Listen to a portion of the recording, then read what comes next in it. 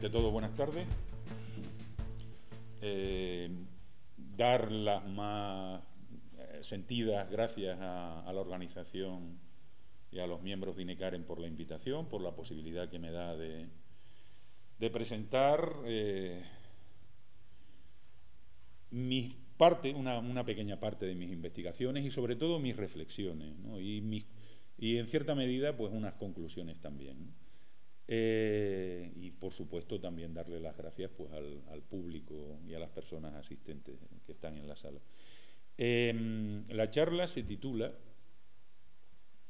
eh, Canarias actual a la luz de la guerra civil y de sus cifras 1936-1950. Pero también, yo creo, dándole vueltas al asunto, se podía titular, o se podía haber titulado también, la historia de la penúltima desposesión de las clases subalternas canarias. Y que además, digo la penúltima porque la última, desgraciadamente, eh, se está produciendo en estos momentos, a saco, además. Y también se podía subtitular la historia de la guerra civil en Canarias o de la primera guerra civil entre canarios. entonces, mm, me gustaría hacer una previa, corta, pero sí señalarles en este sentido algunas cosas. Han pasado 76 años después del inicio de la guerra civil.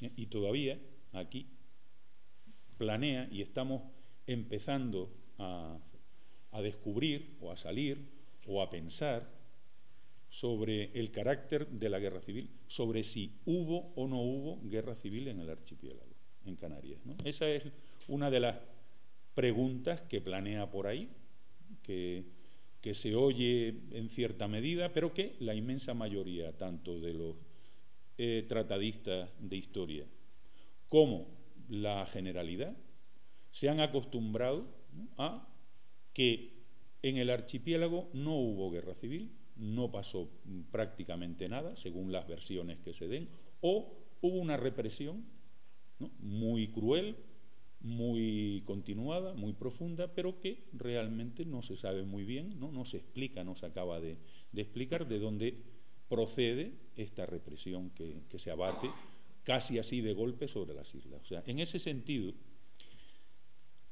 yo creo que ya es hora de empezar a combatir los mitos que son adormecedores. Además, las letanías y los mantras que se repiten constantemente sin haber sido demostrados jamás, que son absolutamente falsos. Eh, asimismo también separarnos de los cantos de sirena que nos atraen, ¿eh? e inclusive también de las leyendas urbanas que circulan por ahí, y que lo único que sirven es de estorbo. Y asimismo también tenemos que abandonar o empezar a abandonar las músicas celestiales que no nos conducen a nada. Y ya verán, quizás al final, o al final de la, de la charla, a qué me estoy refiriendo con todo esto. O sea, mitos, mantras, etcétera, etcétera. ¿Qué es lo que quiero decir con esto? Que la historia contemporánea del archipiélago, en gran parte, se basa fundamentalmente en eso, o sea, no se explica absolutamente nada, son eh, cuestiones eh, absolutamente oscuras, deslavazadas, eh, ocultadoras de la realidad. O sea, por lo tanto, animo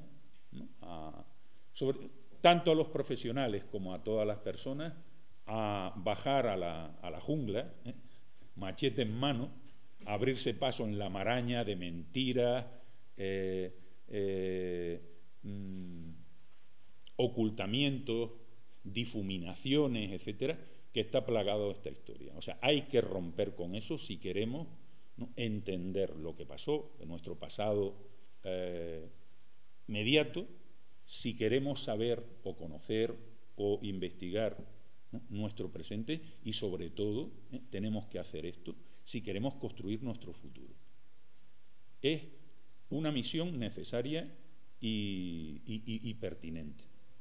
Y en ese sentido es lo que vamos a hacer. Y hacerlo no es difícil.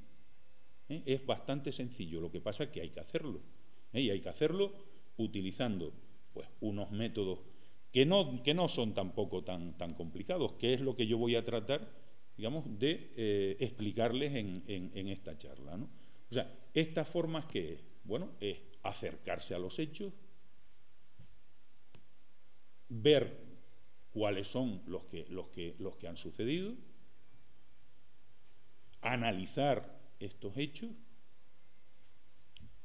medirlos, contarlos. ¿eh? Afortunadamente, como me decía un buen amigo no hace muchos días, la historia, una de las ventajas que tiene, además de ser la mercancía averiada, más averiada de todas las ciencias sociales, ¿eh? y sobre todo, pues aquí en Canarias está más averiada todavía, eh, la historia tiene, tenemos la capacidad de medir las cosas y de contarlas. Entonces, en ese sentido, pues, además de eso, luego sacar unas consecuencias y establecer unas conclusiones. ¿eh? Y eso es lo que vamos a hacer, o sea, acercarnos a los hechos. ¿Y cuáles son los hechos que, iniciales? Pues, fundamentalmente, sin, sin irnos sin perdernos tampoco en demasiadas cosas, para atrás y tal, sino que lo concreto, irnos a la primavera, verano de 1936. ¿Cuáles son los hechos que ocurren? ¿Eh? Y los podemos describir, nos interesa también describir estos hechos. O sea, no huir de la descripción, porque si no conocemos lo que ocurre, ¿cómo lo podemos analizar? ¿Cómo podemos sacar conclusiones? ¿Eh? ¿Cómo lo podemos contar? Entonces, en ese sentido, ¿qué vamos a analizar? Pues el verano de primavera-verano de 1936, lo que ocurre en el archipiélago y lo que ocurre en el Estado español, evidentemente, ¿no? Porque pensemos cuál es la relación, cuál sea la relación política entre la metrópoli o el Estado con el archipiélago o la colonia, eh, lo evidente es que había un lazo, eh, un lazo político ineludible, importante, que Canarias estaba dentro del Estado español. Y por lo tanto, lo que ocurra en el Estado español o lo que ocurre en esos momentos en el Estado español repercute ¿eh? directamente en lo que ocurre en el territorio del archipiélago.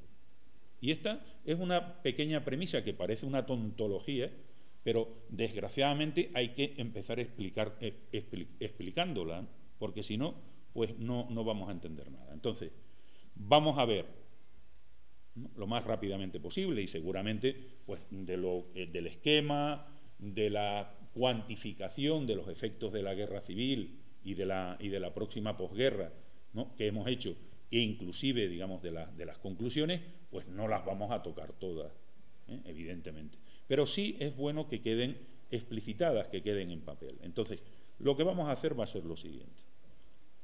Va a ser acercarnos a estos hechos. ¿Qué es lo que ocurre aquí en, 1936?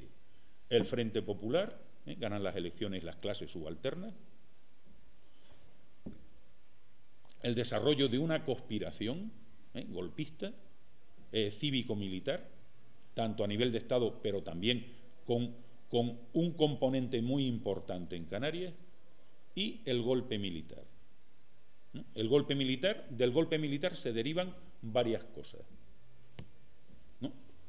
Uno, la naturaleza de este golpe militar, que es muy importante.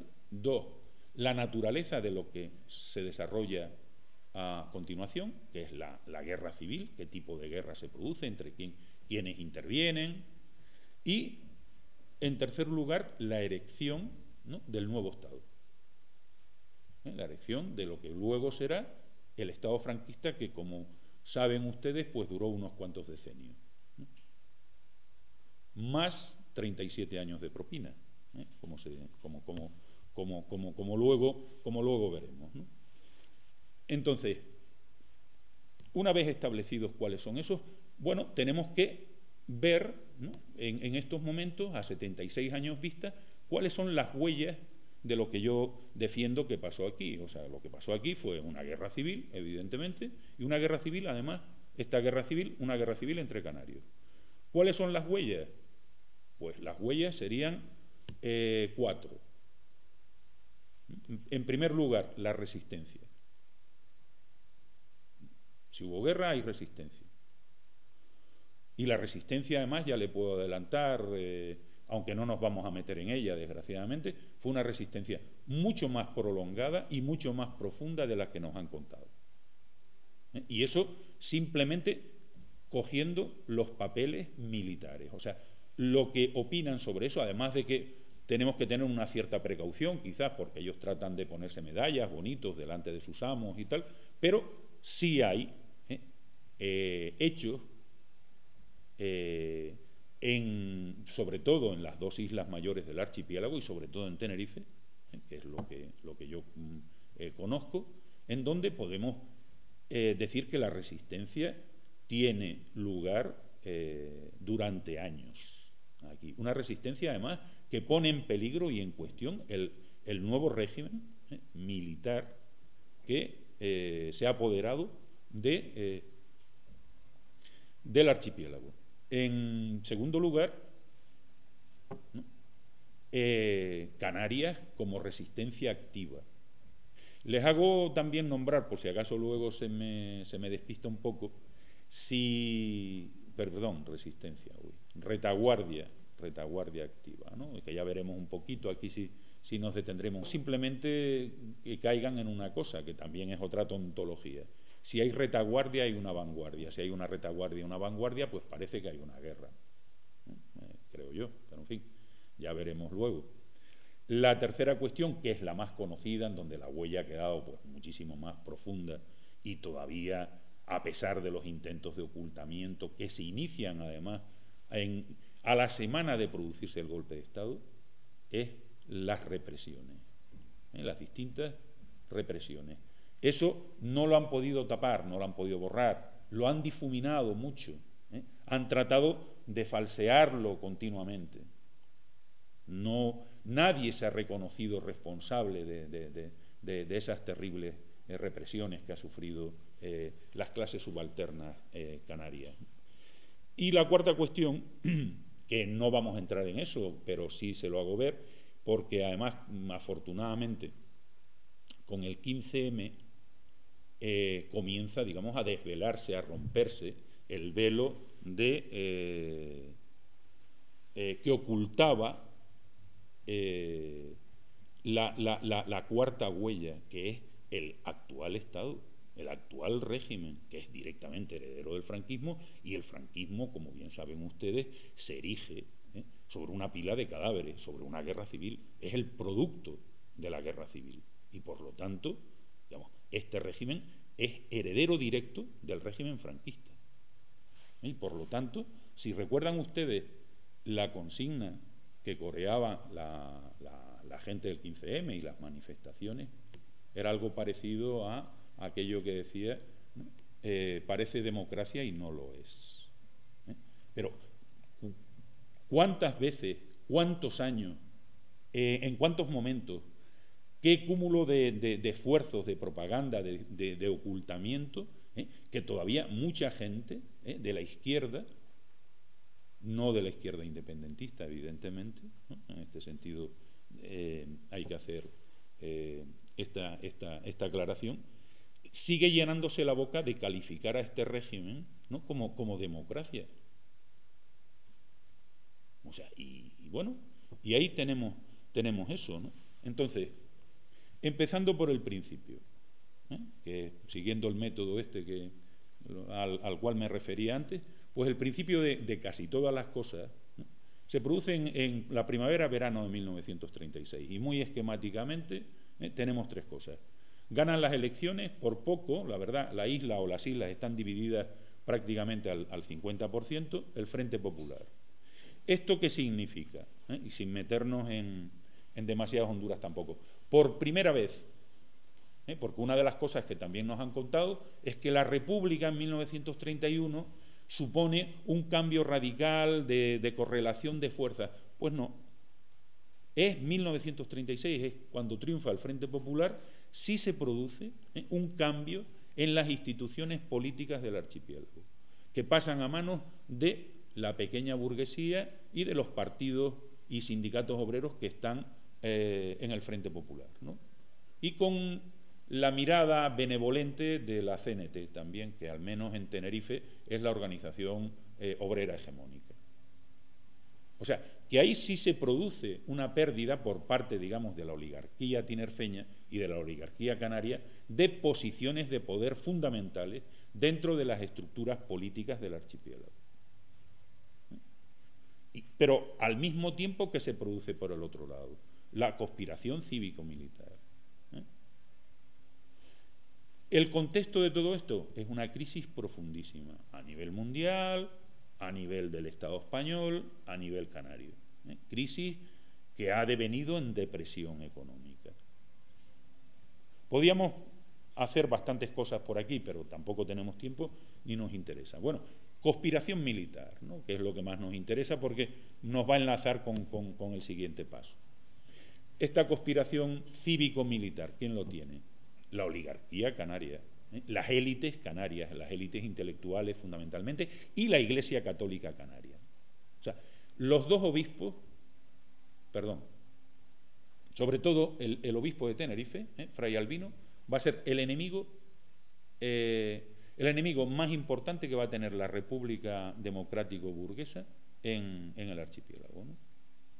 Pero, y en su conjunto, toda la Iglesia Católica, casi prácticamente sin excepción, va a ser la avanzadilla, porque la Iglesia Católica no son solo los curas y las monjas que están por ahí, son sus organizaciones de masas que las tienen. Es su partido político, que es la CEDA, ¿eh? es APA, concreto, Acción Popular Agraria, son sus organizaciones de mujeres, eh, de jóvenes, de caballeros, como se decía, de acción católica. Y eso está organizado en cada parroquia, en cada barrio, en cada ciudad, en cada pueblo. Em, y, estos son los que tienen, eh, los que organizan esa conspiración cívico-militar. O sea, protegidos, aupados y además les llega desde Madrid, eh, a la oligarquía canaria y a la tinerfeña en particular, un regalo llovido del cielo. Eh, porque ellos habían perdido las elecciones, estaban bastante desanimados ¿Y cuál es el regalo llovido del cielo que, le manda el gobierno, digamos, republicano del Frente Popular de Madrid? Pues a un caballero, sí, sí, a un caballero, a un general ¿eh? llamado Francisco Franco Bamonde, que de inmediato, o sea, el general más prestigioso del ejército español, un africanista puro, y un hombre que había demostrado además que sabía cómo enfrentarse a la clase obrera y derrotarla. ¿Eh? Es el hombre de Asturias, de 1934. No hay que olvidarse de eso. Y aquí montan la conspiración militar. Y bueno, que es la única salida, digamos, que les queda ¿eh? a la oligarquía canaria para proteger sus privilegios y defender sus intereses. El golpe militar se produce el 18 de julio. Y es un golpe militar ¿eh? extremadamente violento. Es un golpe militar hecho por las guarniciones eh, del ejército aquí, que además se dotan rápidamente de un instrumental, no solo militar, sino además, entre comillas, jurídico. el golpe militar se da en Tenerife, ¿eh? para no referirnos a otros sitios, a las cinco y cuarto de la mañana del día 18. O sea, las tropas de infantería, un batallón de infantería con ametralladoras, toma el gobierno civil en la Plaza de la República o de la Constitución o del 15 de mayo, que es el palacete eh, de carta que está allí. ¿eh? Toman, toman el gobierno civil y de inmediato, a tambor batiente, leen, como era costumbre, se hacía el bando de guerra proclamatorio del estado de guerra. Bando proclamatorio del estado de guerra que, eh, que además en Canarias hay uno específico y concreto. Si se proclama el estado de guerra, bueno, pues tenemos que es además el marco, digamos, legal que los rebeldes que toman el poder de inmediato van a seguir. Entonces, eh, les aconsejo, si no lo han leído, que le echen un vistazo. Además, como, mera anécdota, eh, técnicamente, espero no asustarles con ello, este bando de guerra está, en vigencia. No ha sido derogado todavía. Ha sido derogado el bando proclamatorio del estado de guerra de la Junta Nacional de Defensa Nacional de Burgos, la ley, la malahada ley de memoria histórica del año 2008, que además la hicieron el Día de los Santos Inocentes, menuda inocentada que nos, que que nos dieron, eh, nos vendieron ahí pues, pues humo. Eh, deroga pues unos cuantos bandos proclamatorios del estado de guerra de algunas regiones y provincias de, de la península, ¿no? de España, pero este en concreto, ¿eh? el bando firmado por Francisco Franco Bamonde, a las 5 y cuarto de la mañana del día 18 de julio no está derogado. Técnicamente está, está en vigor, porque además les recuerdo, ¿eh? hablando del Estado, del régimen este y del Estado anterior y tal, que el Estado franquista no ha sido nunca declarado por nadie, ¿eh? por nadie, digamos, de, de forma administrativo, político, jurídica, no ha sido eh, declarado por nadie, por nadie ni legal ni, ni ilegítimo. O sea, por lo tanto, como se decían los franquistas y los que nos vendieron la transacción o transición eh, llamada, mal llamada democrática y tal, eh, ellos decían, no, no, aquí el camino es ir de la ley a la ley, o sea, de la ley franquista a la ley borbónica. Y en esa estamos todavía. Bueno, el golpe de extremada violencia y es el inicio de la guerra civil, o sea, ese golpe va a fracasar, o casi, o medio fracasar, o bastante fracasar, y va a derivar de inmediato en una guerra civil. ¿eh? Y este es el marco en donde se van a desarrollar las cosas, el marco de declaración de guerra. Y hay guerra tanto en Madrid ¿eh? como aquí, evidentemente. O sea, y esta guerra civil es, junto con el bando de guerra y, y las adiciones y eh, la aplicación del Código de Justicia Militar, ¿eh? que se consideran a las islas 15 días después plazas sitiadas y bloqueadas. Por lo tanto, digamos, eso todavía aumenta más la capacidad de intervención ¿eh? y de exoneración, digamos, de cualquier acción por parte de los militares y de las bandas fascistas que montan de inmediato las milicias o las bandas paramilitares. Entonces, eh, es un golpe extremadamente violento. Empiezan a matar y a torturar, y eso se, sabe perfectamente, ¿eh? Eh, el mismo 18 de julio. Empiezan, empiezan por ahí. y sí les puedo decir también que en Tenerife, en menos de un mes, está ocupado por 10.000 hombres armados, entre ejército, guardia civil, policía de asalto, los que, los que, los que, los que no se sublevan ¿eh? el 18 de julio, que son la mayor parte, eh, policías locales, en gran parte una vez depurados, guardamontes y sobre todo ¿eh? acción ciudadana, que son los provectos y conspicuos hombres de la burguesía y de la pequeña burguesía y sobre todo los organizados bajo las banderas, digamos, de la Iglesia Católica, que presta sus juventudes y sus hombres para conformar una organización fascista ciudadana. También los cachorros y señoritos y lumpen de existentes en las islas ¿eh? son organizados bajo las banderas de Falange. Al menos aquí en Tenerife, Falange era, tenía una militancia muy escasa, pero va a, va a crecer de forma meteórica. Y entonces el, el dato que podemos utilizar es que 10.000 hombres ¿eh? sobre una población de, de, 300, de un poco más de 300.000. 10.000 hombres armados ocupan de arriba abajo la isla. Bueno, tenemos ese golpe, la guerra, la naturaleza de la guerra. La guerra es una guerra eminentemente social. Y aquí en Canarias es una guerra eminentemente entre ricos y pobres, o ricos y las clases subalternas los terratenientes, la burguesía impor-export, los grandes y altos funcionarios de todo tipo de administraciones, una parte, digamos, de los, de los técnicos, otra parte no, va a estar contra los otros, los otros son los subalternos. ¿eh? Los trabajadores, los obreros, los jornaleros, gran parte de los maestros, y en ese sentido son canarios todos. Acción Ciudadana son canarios, Falange son canarios, o sea, no son godos que han venido aquí a matar, a matar canarios y tal.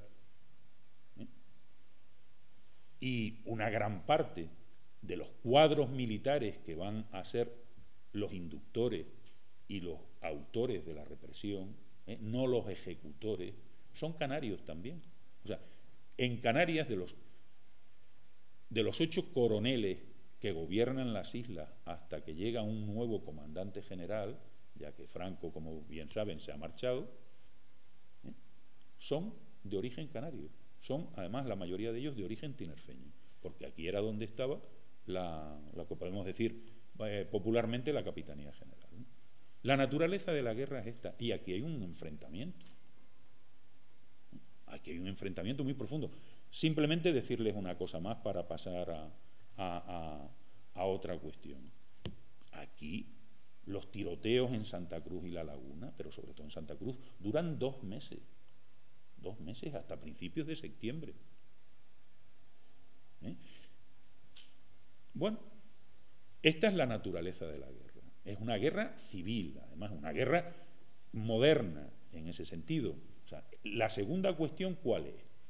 La Canarias retaguardia fundamental para la victoria franquista. ¿Qué aporta Canarias una vez, digamos, pacificada, entre comillas, y controlada por el poder militar? Y con no la ayuda, no la colaboración, no el cipallaje de, la, oligarquía y de la burguesía canaria, sino la actuación, son los protagonistas. ¿eh? La metrópoli, y podemos utilizar este lenguaje perfectamente, eh, la gente de la metrópoli tienen otras cosas que hacer, que es matarse entre ellos. ¿eh? Las fuerzas no vienen para acá a matar canarios, sino que los canarios, ¿eh? la mayoría obligados, todo hay que decirlo, van hacia allá, a ir hacia los frentes de combate. 60.000, 60.000 van a salir en toda la guerra. Yo diría, además, unos cuantos, pocos miles más, pero bueno, para que ustedes tengan una cifra, o sea, Em, el ejército franquista, una de las cosas que, se han barajado y que son bastante bien conocidas, es la aportación de los mercenarios marroquíes. Bueno, pues los mercenarios marroquíes, casualmente, ¿eh? fueron también 60.000. O sea, un verdadero ejército. Mandan. También es cierto que algunos canarios, ¿eh? bastante, los que pueden, ¿eh? se van a pasar. Sea, está la anécdota famosa que, en fin, Dolores Ibarruri por la radio le dice al, al carnicero Keipo de Llano, Keipo, Keipo, cierra la jaula que se te escapan los canarios. Eh, y no sabemos, ahí en, las cifras que, luego tal, la gente que es cogida intentando escapar. O sea, yo conozco cuatro o cinco casos, pero tiene que haber decenas, porque los fusilaban sobre la marcha. Lo mismo que fusilaban sobre la marcha aquí a los resistentes. Yo no conozco ninguna causa eh, ni ha salido nunca, de que los eh, pacos o la gente que estuvo en los tiroteos, fundamentalmente nocturnos, de los primeros dos meses, le hayan impuesto ninguna causa militar, nunca lo, lo, sometieron a consejo de guerra. O sea que eso hay que colegir entonces que los ultimaron. O sea que simplemente los, a los que capturaron, eh, que fueron a, bastantes, eh, los, pusieron contra una pared y los, mataron y los enterraron en una platanera que es bastante fácil de hacer. Bueno, entonces la retaguardia. Eh, los hombres. El petróleo de Tenerife es absolutamente fundamental, sobre todo en el primer año de guerra. Luego ya tienen otros suministros. ¿Eh? Pero el petróleo de Tenerife, en un ejército moderno, el petróleo, y al fin y al cabo, a pesar de lo que se haya dicho, la guerra que se desarrolla en, la península es una guerra ya de carácter moderno, en donde participan, pues, en fin, todo el tipo de material y además, como bien, como muchas veces se ha, comentado, sirve de ensayo ¿eh? para probar las nuevas armas que se van a utilizar de forma masiva ya en la Segunda Guerra Mundial. Y luego el dinero, ¿eh? las divisas. O sea, no solo saquearon las sucursales del Banco de España, ¿eh? que eran además de las más mm, ricas de, todo el territorio, ¿eh? tanto el de Las Palmas y sobre todo el de Tenerife, que había sido hasta no hace pocos años, el de Santa Cruz de Tenerife, la capital del archipiélago. Entonces aquí había unas reservas de plata sobre todo y menor cantidad de oro que, de inmediato. Y luego las divisas del tomate, de la papa, del plátano, y luego el enorme comercio que, se, que se desarrolle.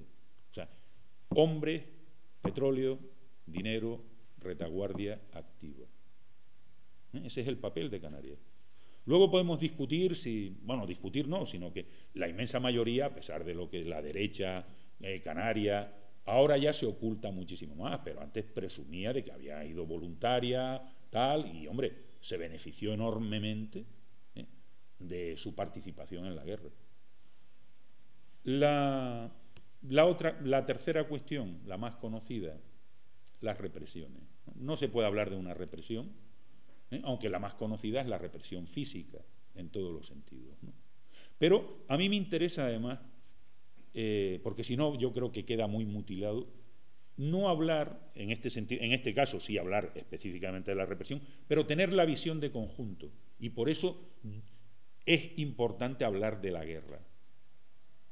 ¿eh? Porque la, forma de entender lo, que, lo que provoca digamos, esta enorme catástrofe que les estoy empezando a contar es el conjunto de la guerra, la, acción de la guerra. Bueno, la represión, mm, me interesa señalar dos cosas ¿eh? de ella y me voy a saltar pues una, una gran parte porque si no, no terminamos. La represión, las represiones. Bueno, ¿quién, ¿Qué es lo que facilita el salto cualitativo de un Estado represor, como era el, Estado republicano, ¿eh? sino que se lo digan digamos, a, la, clase obrera canaria, que cerraba pues, sus locales, detenía a sus sindicalistas, prohibía sus periódicos, etcétera, ¿eh? sobre todo aquellos que, en fin, que no estaban de acuerdo con ellos, ¿no? por ejemplo los, de la CNT en Santa Cruz, que su prensa, por ejemplo, estaba eh, mucho más prohibida que en la calle, y sus locales pues estaban más tiempo cerrados que abiertos. De todas formas, esa es una represión, digamos, limitada. ¿Qué es lo que permite la universalización de la represión y que la represión sea, digamos, una bestia de, múltiples y multiformes eh, cabezas? La guerra. El marco jurídico eh, militar, el bando de guerra permite a los militares, digamos, hacer lo que les parece, saltarse, digamos, todas las normas legales, poner a la disposición del aplastamiento de la resistencia, ¿eh? mm, todo el conjunto de atribuciones que le da al poder militar. Es un poder absolutamente omnímodo, ¿eh? totalitario. Bueno, las represiones son de todo tipo. ¿eh?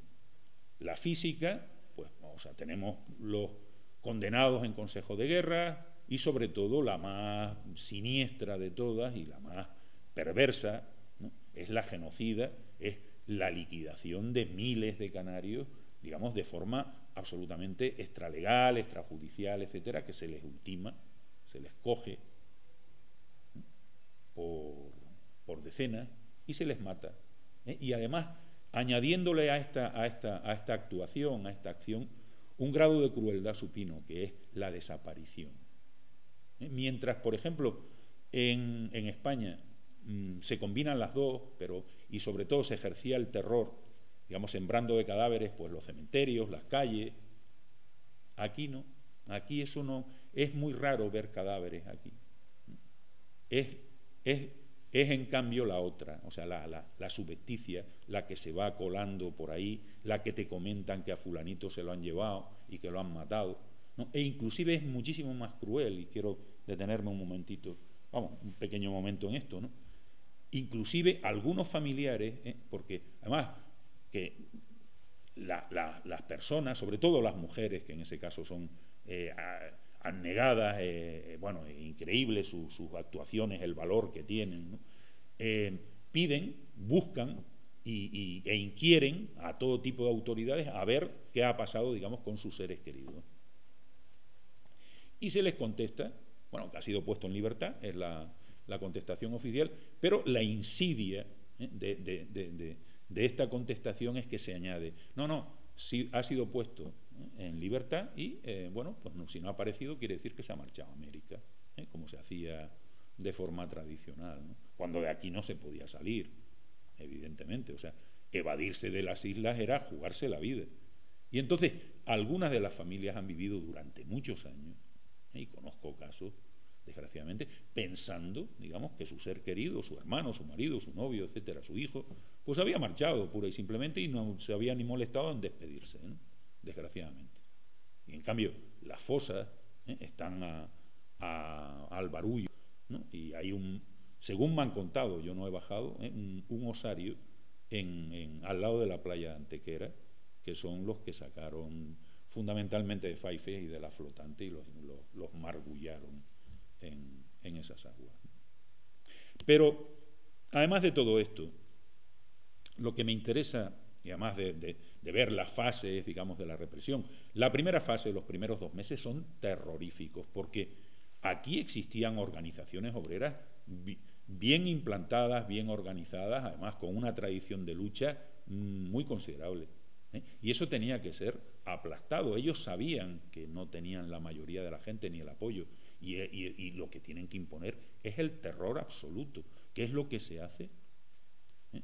en los primeros dos meses. Luego ya la, represión se organiza, ya se institucionaliza, ya van con listas, van a sacar a la gente de las cárceles o van a sus casas y tal. Pero los primeros dos meses es aquí te pillo y aquí te mato. ¿eh? Aquí te pillo y aquí te torturo Aquí te pillo y te defenestro del Palacio de Justicia de la Plaza de San Francisco, que todavía está ocupado por la audiencia, la audiencia provincial.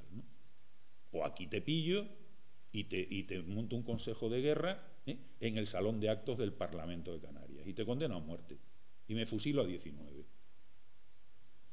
Bueno, entonces, lo que sí me interesa también es quiénes son, tanto unos como otros.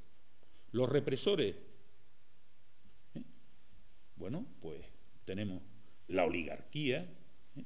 que son los inductores de la represión, la oligarquía canaria, o sea, porque el general que traen para acá, él acaba de aterrizar por aquí, no conoce las islas para nada, y él firma lo que le ponen. Si hay que matar a 20, se mata a 20, si hay que matar a 50, firma que se maten a 50, al que más le da. Son rojos. Pero alguien le tiene que indicar a quién matar. Los inductores,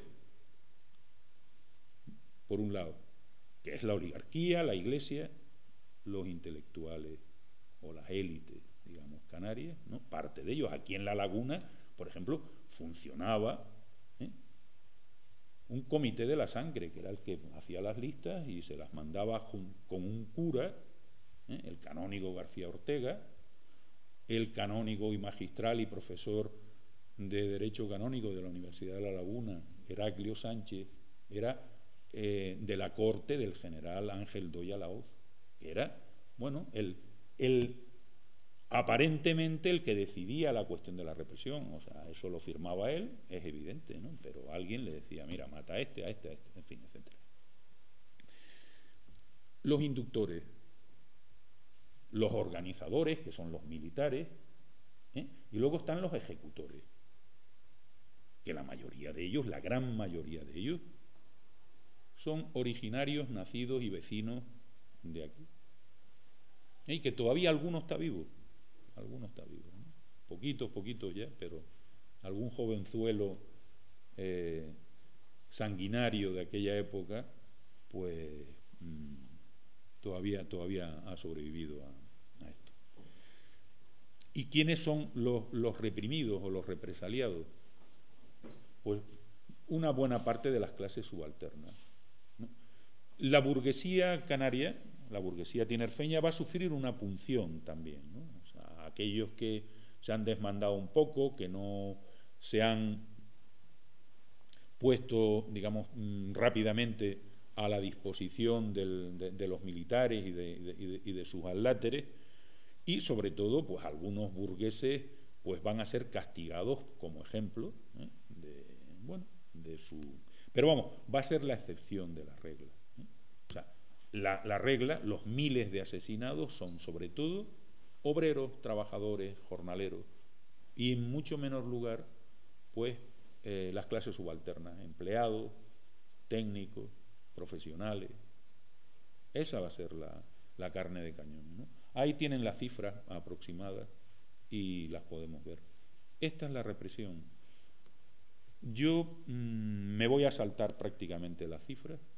¿eh? Simplemente las cifras no. O sea, es la historia de una desposesión. O sea, los datos que tenemos, que son cuantificables, que podemos discutir, pues si este es aproximado, el otro tal. Em, yo creo que es una discusión en estos momentos absolutamente secundaria. Pero lo que sí me interesa eh, resaltar es dentro de, del marimagnum de, cifras y de datos y de, la cuestión represiva, para, entender luego cuáles son las consecuencias de todo esto, eh, es, por ejemplo, la, represión, la represión cultural. La represión cultural y, asociativa. O sea, como mínimo, 200, ¿eh? más de 200 asociaciones populares, culturales, políticas, sindicales del archipiélago van a ser clausuradas, allanadas y sus bienes confiscados. De esas, en la actualidad, no de esas o similares, no hemos recuperado ni siquiera la mitad. ¿Eh? Tenemos un déficit histórico desde hace pues 76 años ¿eh? de este tipo de organizaciones, de ese importante e interesante tejido social que generaba la existencia, digamos, de esas instituciones populares. Y, por ejemplo, las bibliotecas fueron examinadas, expurgadas, todas las existentes en el archipiélago.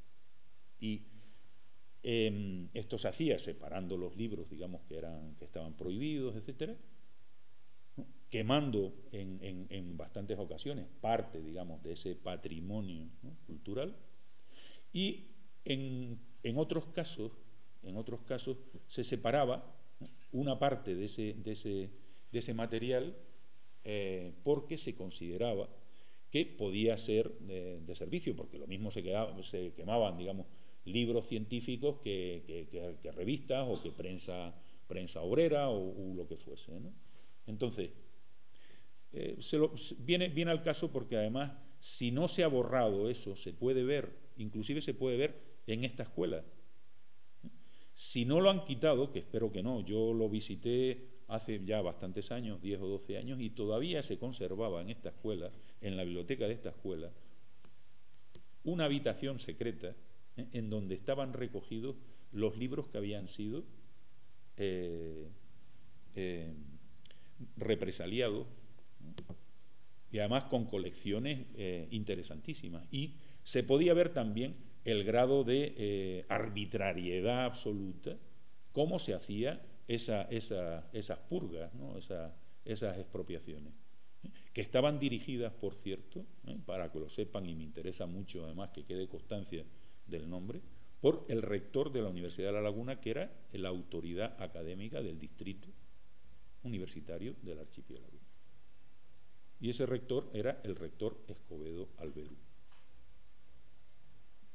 Colaborador eh, de primera hora, como no podía ser menos, eh, con eh, el falangismo y sobre todo importante seguidor de la facción clerical fascista de la burguesía canaria, a pesar de que, de que no fuese de aquí. Bueno, em, para terminar, yo creo que, hay que terminar ya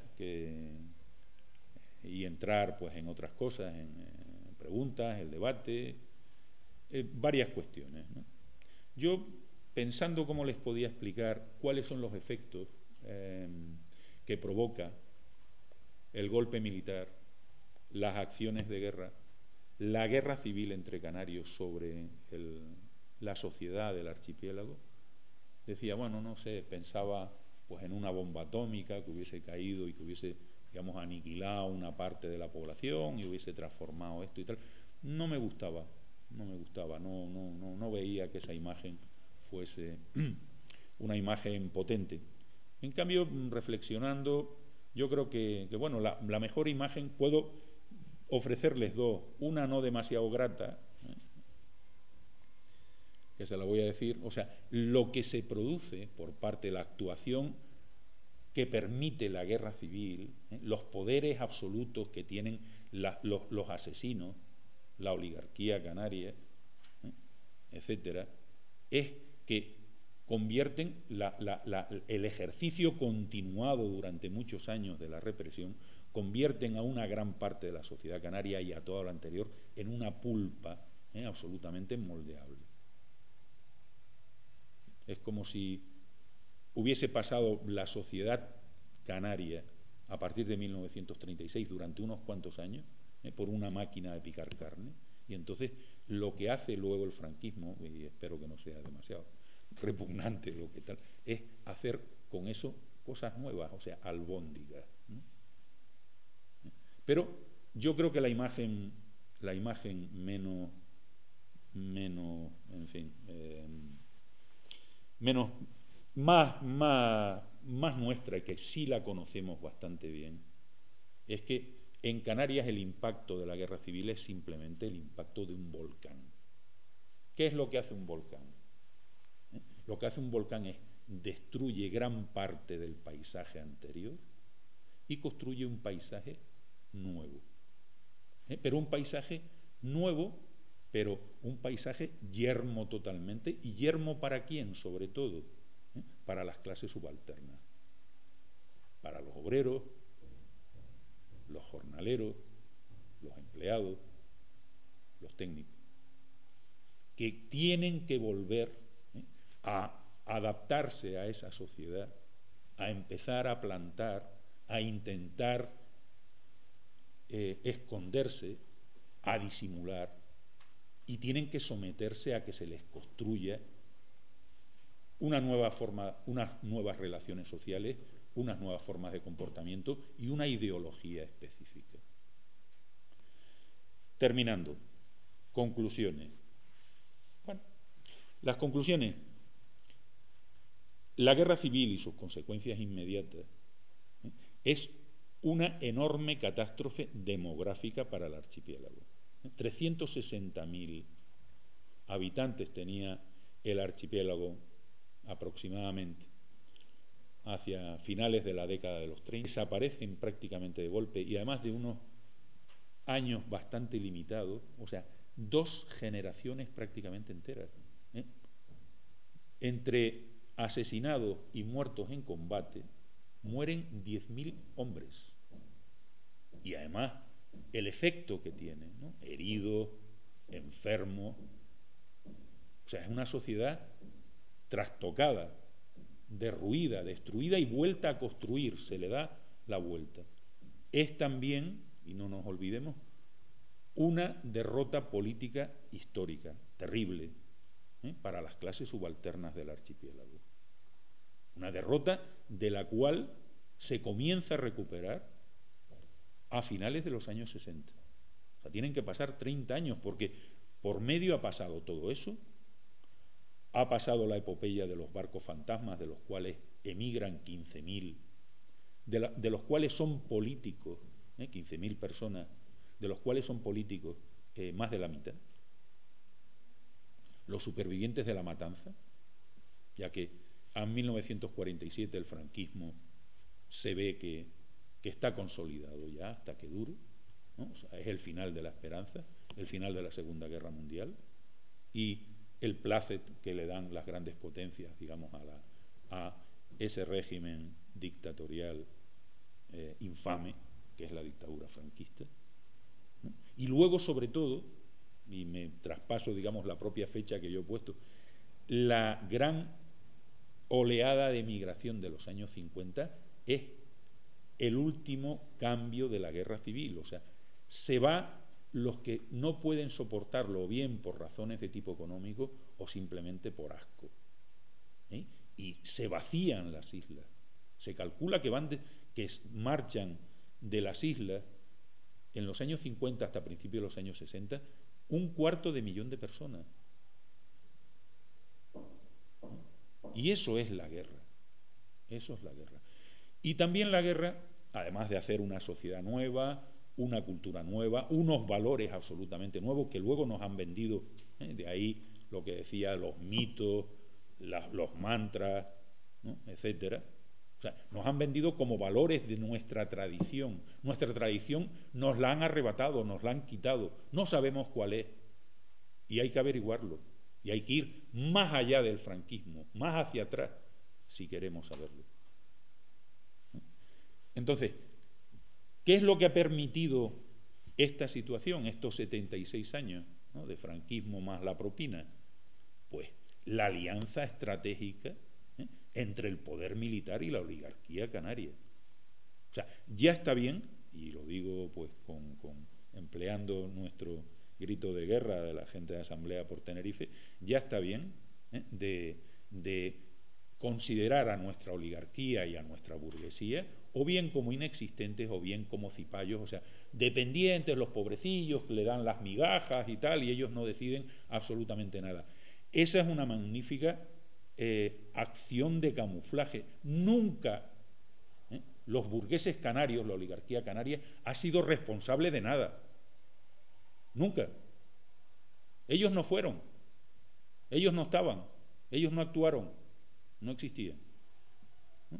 Entonces, una alianza estratégica para defender sus privilegios, defender sus privilegios y defender, digamos, sus bienes y lo robado durante la guerra. Porque además, esta alianza estratégica se basa fundamentalmente en que el poder militar ¿eh? controla a las clases subalternas de Canarias, además con una purga, ¿eh? con, con el, eh, la forma de diezmarlo, como se produce en la, en la guerra civil, ¿eh? porque esto es lo mismo que las guerras clásicas entre los espartanos y los hilotas. ¿eh? Aquí diezman a la población canaria. Entonces, una alianza estratégica, ¿para qué? ¿Y con la anuencia de quién? ¿Eh? Para españolizar Canarias, evidentemente. Y la españolización de Canarias se hace, pues primero con la derrota militar, digo, perdón, con la derrota política, tal, tal, tal, se hace con la cuestión de eh, ejercer el poder absoluto, ¿eh? pero también, digamos, sometiendo a la población al hambre. El modelo, hay que decir, y ya voy a terminar con esto, el modelo económico de Canarias en los años 30 está eh, totalmente acabado, está terminado. O sea, el modelo de finales del siglo XIX hasta el primer tercio del siglo XX, basado pues, en, la, en la exportación, import y tal, eso ya no funcionaba, o sea, los mercados europeos se han perdido. ¿Eh? Lo que va a permitir mantener ese modelo va a ser el mercado español. Y a cambio de eso, a cambio del ejercicio del poder o compartir el poder aquí, porque todos los presidentes de cabildo, todos los alcaldes, todo lo, una parte considerable, que era el, cargo, digamos, más importante, de presidentes de las juntas de obra del puerto, son tinerfeños, son de Gran Canaria. O sea, hay que repensar también cuál es la situación, digamos, política y el papel que tienen las clases aquí. ¿Eh? Son unas clases adineradas, acumuladas, que han acumulado capitales importantes entonces, se produce la españolización de Canarias y esta españolización de Canarias es someter a la población en general, eh, para dejarla muy quieta. Eh, pregunten ustedes a sus padres o a sus abuelos cuál era, cuál era la situación aquí en los años 60, o sea, no me refiero, 30 años después del final de la guerra. O sea, aquí, por ejemplo, la guerra, para poner un ejemplo más concreto, Aquí se gastaba en traer, en comprar los alimentos de fuera, antes del inicio de la, guerra civil, el 50% del, producto de las divisas del archipiélago, ¿eh? de, la, exportación. Bueno, pues la guerra lo que provoca ¿eh? es una detracción de estas divisas para invertirlas ¿eh? en los gastos militares, evidentemente, y entonces únicamente se destina a satisfacer las necesidades del pueblo canario el 15%. O sea, y eso significa pues una bajada. Y además, ese 15% no se compraba en el mercado libre. ¿eh? No, con ese 15% no se compraban los productos en el mercado libre, se compraban en el, mercado español. Y el mercado español en aquella época, de gran parte de las cosas, del territorio, además controlado por el ejército franquista, pues no, no, no, podía, no estaba en capacidad de suministrar. Y entonces aquí lo que se produjo durante muchísimo tiempo es una enorme carestía. O sea, había mucha más demanda que oferta de las cosas. Y ahí surge una institución tan simpática que se llama Cambullón, ¿eh? que son unos chupasangres y unos negreros y unos tipejos que se han beneficiado históricamente de la miseria del pueblo. Esos son nuestros queridos y amados cambulloneros, por ejemplo. Entonces, españolización de Canarias. Esa españolización es económica, es política. ¿eh? La burguesía canaria se va a españolizar. ¿eh? Va a seguir bebiendo whisky, pero ellos son más españoles que los de Fachadolí aunque ahora se disfracen eh, algunos de otra cosa. Hay que ver las hemerotecas y hay que ver quién es quién. Hay que ir, y es, con esto ya termino, a los hechos. Describirlos, analizarlos y sacar conclusiones. Muchas gracias.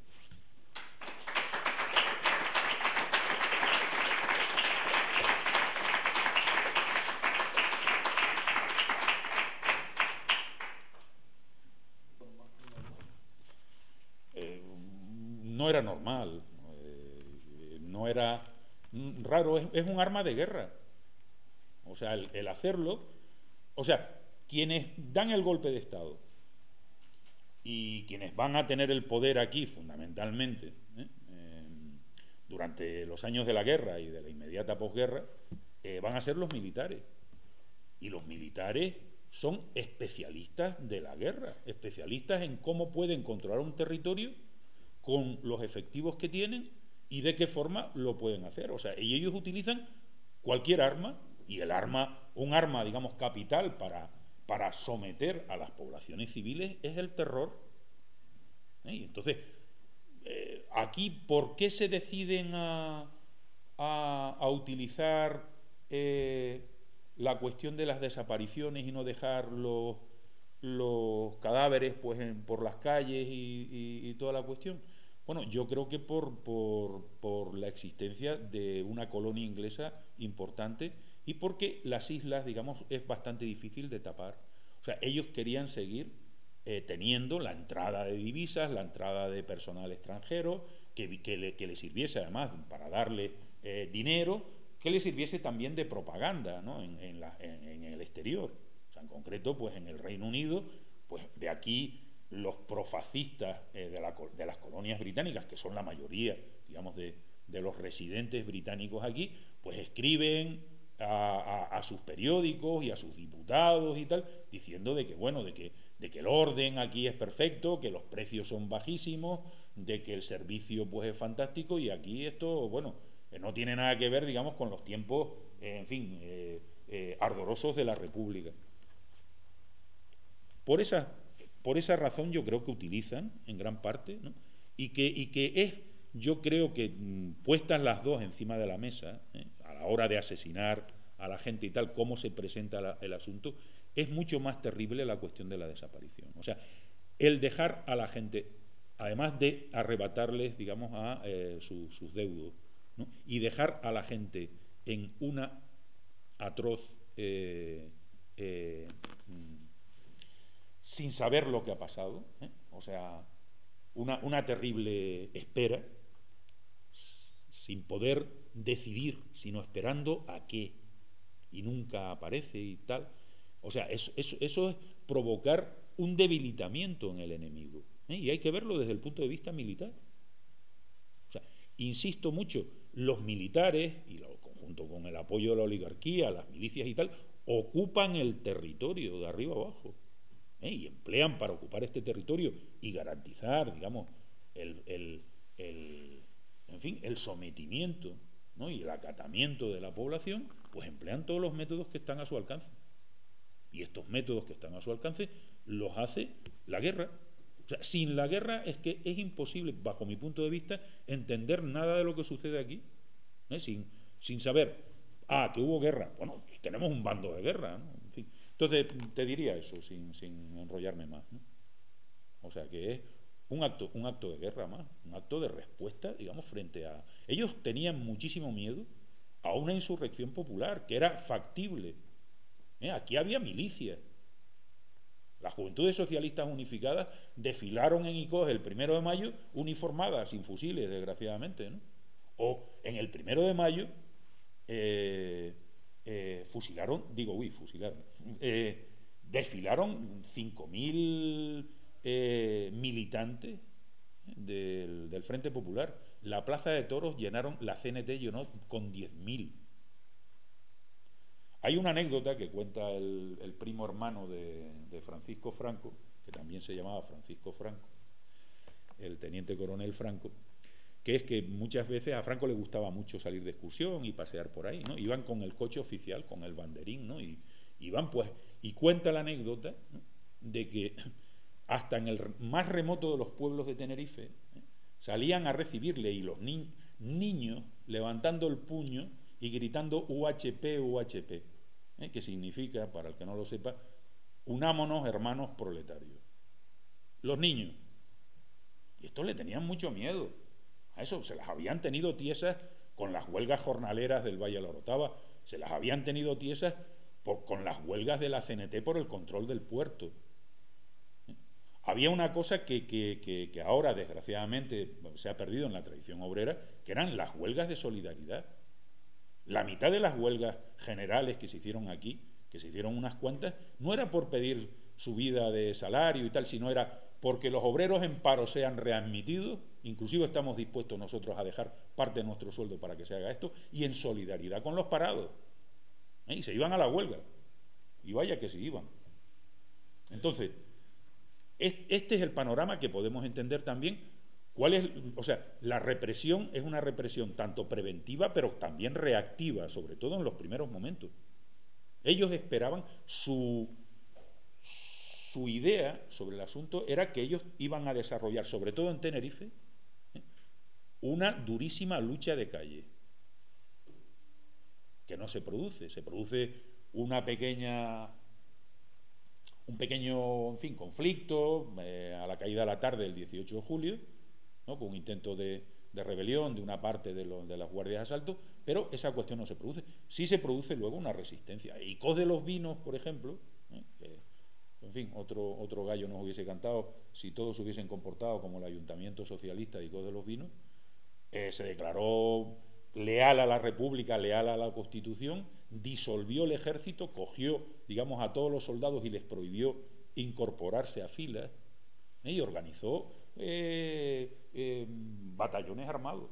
El, el de los Vinos, en el antiguo convento, si no lo han tapado todavía, tienen que estar los tiros de ametralladoras que dieron cuando asaltaron el pueblo, una fuerza, perdón, la ciudad, una fuerza considerable el, lunes siguiente al golpe. un caso muy, muy desconocido.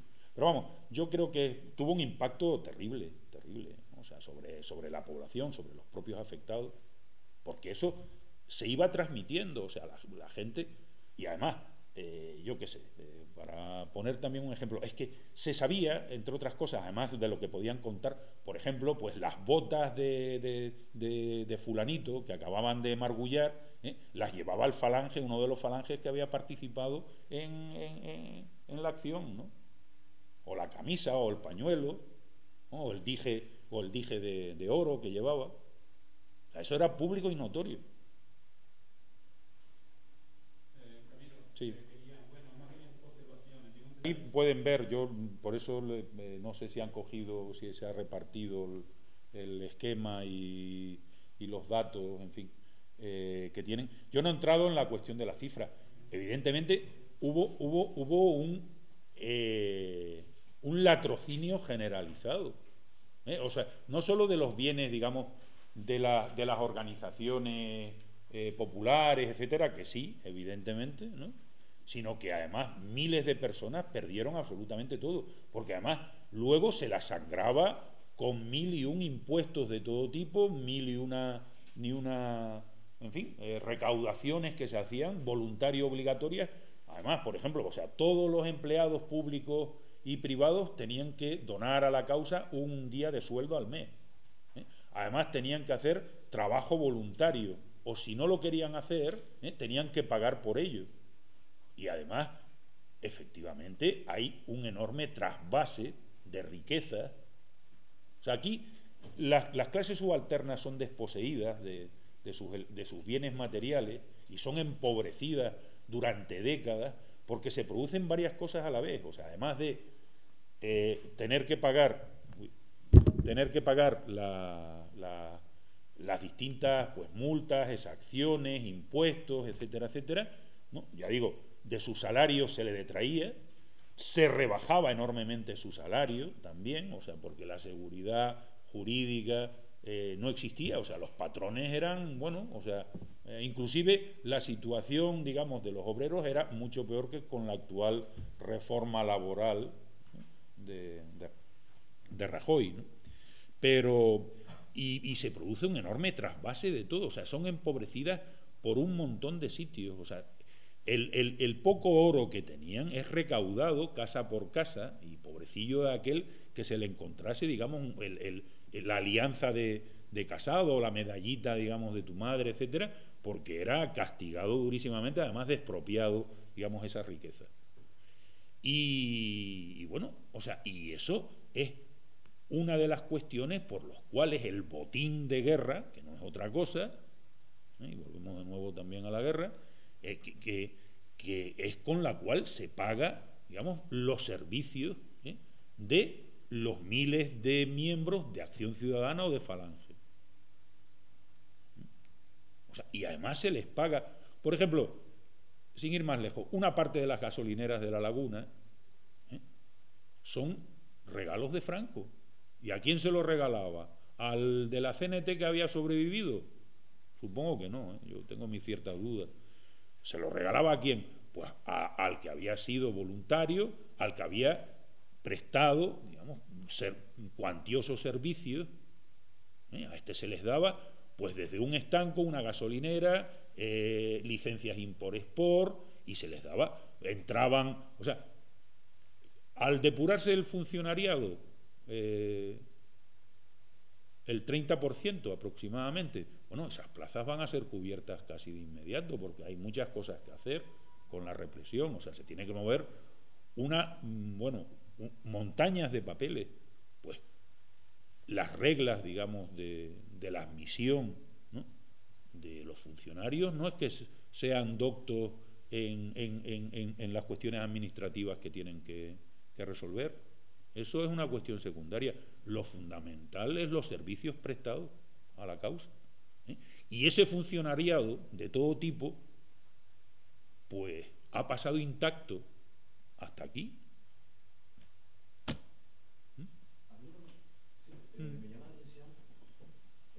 Sí, sí, bueno, vamos a ver, eh, las cosas tampoco eh, son eh, efectivamente, o sea, hay que partir de los hechos. Los hechos es que el franquismo, victorioso de la guerra, que no hay que olvidarse, moldea una nueva sociedad. O sea, me gusta quedarme más con el ejemplo de, que les decía del, del, volcán. Entonces, el volcán, ¿qué hace? Construye, destruye una parte del paisaje, ¿eh? Otra queda, que queda la derecha, queda casi intacta, queda con sus historias, sus cuestiones y tal, ¿no? Eso no se destruye. ¿eh?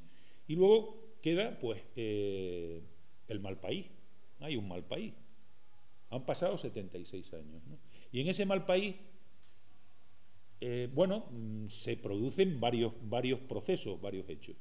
Ellos construyen ideológicamente, culturalmente, nuevos elementos de supuesta conciencia, o sea, es la falange durante 30 años, o sea, el movimiento nacional, quienes eh, administran todo eso. Y hacen un nuevo folclore, en gran parte, hacen pues unos trajes regionales que son la mayoría de ellos falsos como un duro falso, nuestros magos, nuestros campesinos jamás se vistieron así, ojalá, o sea, son trajes de ricos todos.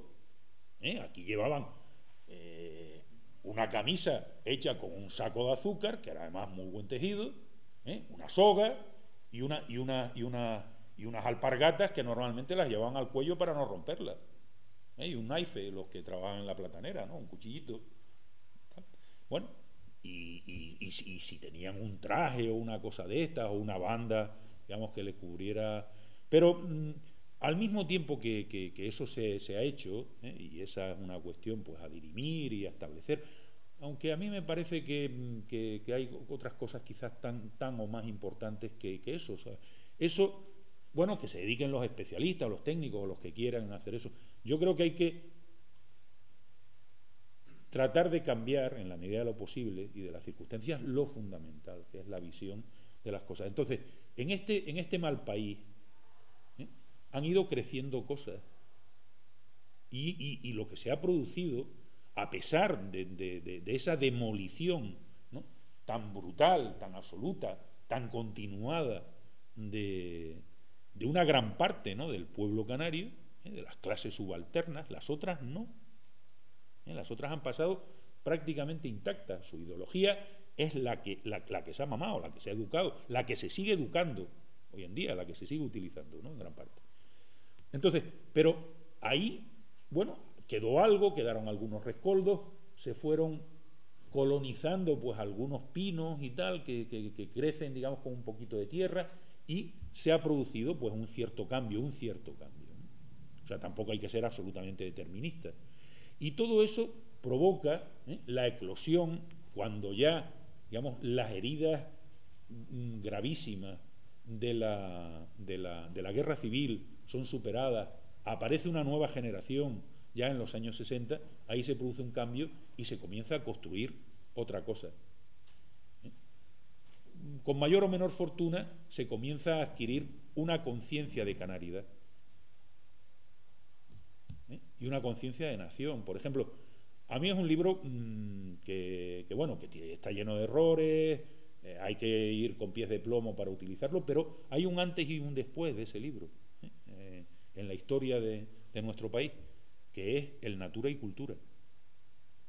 Es por primera vez se hace, se hace un intento por parte de alguna gente que en cierta medida no pertenece, digamos, a, esa, a esas élites oficiales y tal, de establecer, de hacer una enciclopedia, eh, con, bueno, y entonces es según las capacidades que se tenían en aquella época. Y por eso, o sea, ¿por qué no se ha producido ninguna crítica, ninguna tal? Estamos discutiendo todavía, estamos en, los prolegómenos, estamos discutiendo todavía si en Canarias hubo guerra civil. Que eso nadie en ningún sitio se lo plantea. O sea, podemos discutir si la guerra civil tuvo tales repercusiones o murieron tanta gente o, tal. O sea, con todos los datos, ¿no? ¿Qué, tal? Y entonces, con todos los datos que tenemos, pero nosotros todavía estamos discutiendo eso. Estamos llenos de, mitos. ¿eh? O sea, y hay gente muy interesada de todo el espectro político en mantener los mitos, ¿eh? las letanías, los cantos de sirena y las músicas celestiales. El pueblo canario es un pueblo maravilloso, noble, por supuesto, por supuesto. ¿eh? Y aquí quien ha provocado, digamos, toda esta matazón y tal, en el caso que te lo lleguen a reconocer, son los godos. El pueblo guanche, un pueblo comunista, por supuesto, ¿eh? igualitario, en los aborígenes canarios no había ni ricos ni pobres. Y pobre de aquel que se atreva a decir, oh, hombre, yo creo que había algo de, diferenciación social y tal. ¿no? A mí, porque hablo con la C, seguro que alguno, no digo entre ustedes, por supuesto, y si lo hace, pues peor para él, eh, me llamará godo. Dice, no, este es un godo, ¿no? hediondo además, que viene aquí pues para meterse con los canarios y para, y para vendernos la peor de las mercancías averiadas que dice que existen y tal. ¿eh? Destruir la homogeneidad, la nobleza del pueblo guanche. Y el frente, digamos, único del pueblo contra el godo opresor, etc. Que efectivamente el godo ha sido opresor. Eso, para mí, eh, no hay duda. Pero también ha sido tan opresor como el godo opresor la oligarquía, la iglesia en Canarias, ¿eh? que ha provocado una hecatombe ¿eh? que tiene tanta importancia y además yo diría mucha más, más fresca, ¿eh? que la conquista. La conquista para ocurrió hace 500, 600 años. Queda en nuestra memoria, no hay que abandonarla. Pero tenemos un genocidio hace 70 años. Un genocidio además cuyas consecuencias, si no tenemos claro. Quién lo provoca, cómo se provoca, etcétera, no entenderemos nada del presente ni podremos construir el porvenir. ¿eh? Porque todos los diagnósticos que hagamos están equivocados. Todas las alianzas que mantengamos son erróneas. Entonces, en ese sentido, ¿eh? el llamamiento que les hacía al principio, hay que empezar a destruir mitos, hay que empezar a trabajar, pues acercándose a los hechos, comprobándolos una y otra vez para ver si esos hechos es tal cual nos los cuentan. ¿Eh? Y a partir de ahí empezar a construir un terreno firme, seguro, ¿eh? sin ser arenas movedizas ni estar en la jungla totalmente rodeado de maraña. Eso hay que romperlo.